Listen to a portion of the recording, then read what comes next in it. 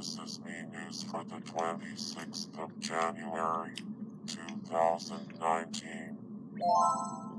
Geico Caveman took part in a wacky New Island Challenge event. The How Far Can You Stretch Your Face competition ended with fewer injuries than expected.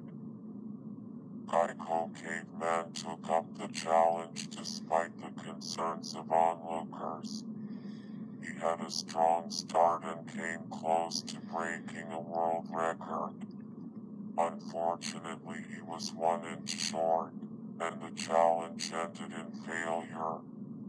Face stretching is highly dangerous, so please don't try this at home. He asked some islanders for their thoughts on the matter. This news really affected me. Are you serious? I can't believe it. Thanks for watching. For your Mii news for January 26th, this is Major Mahadavan, signing off.